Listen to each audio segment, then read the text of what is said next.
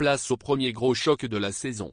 Après avoir débuté sa campagne européenne mercredi par un décevant match nul, 1,1, sur la pelouse du club Bruges, le Paris Saint-Germain reçoit l'Olympique lyonnais ce dimanche soir au Parc des Princes, en clôture de la sixième journée de Ligue 1. L'opportunité pour le club parisien d'accroître son avance en tête du classement face à une équipe rodanienne qui pointe à la septième place du championnat avec 8 points. À lire aussi Ligue 1, des envahissent le terrain, si blessés légers à lire aussi Ligue 1, des Lensois envahissent le terrain.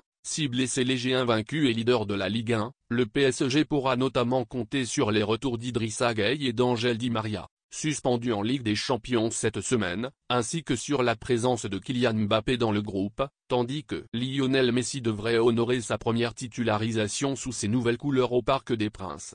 Du côté des Lyonnais, les deux recrues Jérôme Boateng Zerdan Shakiri sont pressentis pour être alignés d'entrée par Peter Boss, qui sera également privé de son buteur Moussa Dembélé, certainement remplacé par Karl Toko, et Cambi.